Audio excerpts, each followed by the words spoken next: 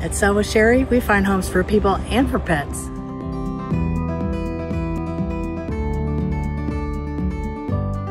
Hey everybody, this is Sherri Echols at the Bryan Animal Center. Today we're out here with Bill. He's a six month old hound mix pup. He is the cutest thing ever. He is um, heartworm negative and he's already been fixed, so he's good to go. He's super playful, super loving, just a, uh, like an affectionate um, attention hound. That's what we call him.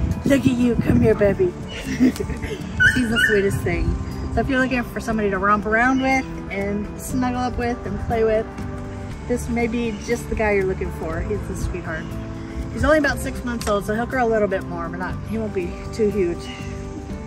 His feet kind of almost fit him already. Almost. Sweet boy. Sweet boy.